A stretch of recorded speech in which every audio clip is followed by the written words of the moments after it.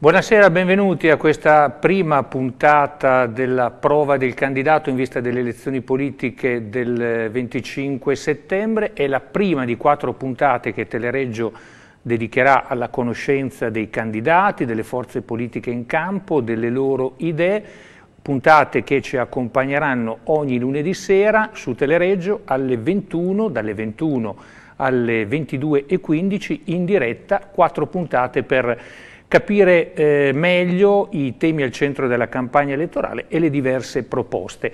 Cominciamo questa sera, naturalmente poi ogni lunedì cambieranno i protagonisti e cambieranno le forze politiche. Vi presento i nostri ospiti di questa sera, cominciando da Graziano Del Rio, che è capolista per il Partito Democratico al Senato nel collegio plurinominale che comprende le province di Reggio, Parma, Piacenza e gran parte di quella di Modena. Poi è stato sindaco di Reggio, è stato ministro, è stato eh, capogruppo del PD alla Camera e ho dimenticato sicuramente qualcosa. Al suo fianco Davide Zanichelli, anche lui parlamentare uscente, è capolista eh, nel plurinominale per il Movimento 5 Stelle alla Camera nel collegio eh, emiliano, quindi Reggio Parma Piacenza, ed è eh, candidato sempre alla Camera eh, nel collegio uninominale 2 che grosso modo coincide con la provincia di Parma.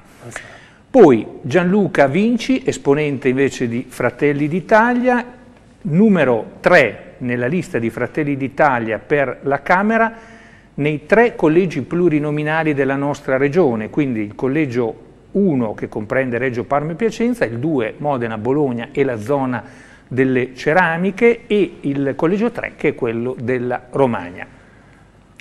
Infine Maura Manghi, candidata di Azione e di Italia Viva nel, per la Camera nel collegio uninominale 3 di Reggio e in lista eh, al numero 4 nel collegio plurinominale. Mi date una risposta in 10 eh, secondi? Vinci, favorevole al ritorno al nucleare? Beh, eh, diciamo che ci si può iniziare a pensare e soprattutto però io penso alla nostra provincia dove con la diga di Vetto ci sarebbero 140.000 famiglie che potrebbero avere esatto. energia pulita. In Emilia Romagna sono previste tre dighe e l'unica che viene osteggiata da Bonaccini è quella di reggio perché quella nel Piacentino e quella nel Bolognese probabilmente si faranno anche velocemente. Di un'ipotesi di ritorno no, nucleare? No, pensa che dobbiamo accelerare sulle rinnovabili in maniera decisa.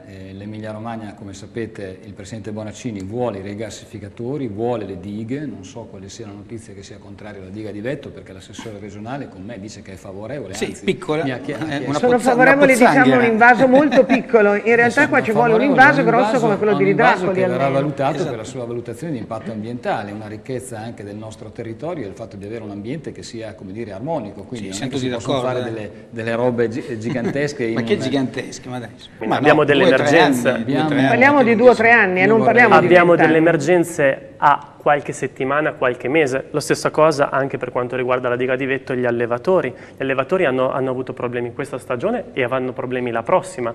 Anche Ora, due o tre anni ce le avranno Sulla diga di vetto possiamo fare tutti i ragionamenti del mondo, ma per la prossima stagione se le autorità intermedie, se gli enti territoriali, gli enti locali non avranno risposte immediate, che possono essere date, possono andare avanti in parallelo, sì, ma, ma se ci si rimane, eh? se cioè, si rimane esclusivamente eh? sulla diga di vetto, si rimane sulla distrazione dal problema vero, che non è una diga di cemento, è l'acqua che manca agli agricoltori. Era una diga di terra, era una diga di terra, non di cemento. Non c'era finire del Rio, poi se posso cambiamo, solo per dire tema. che noi siamo totalmente a favore delle infrastrutture necessarie allo sviluppo del Paese. Qui ci fermiamo, la prova del candidato torna tra una settimana, lunedì sera alle 21. Grazie, buona serata.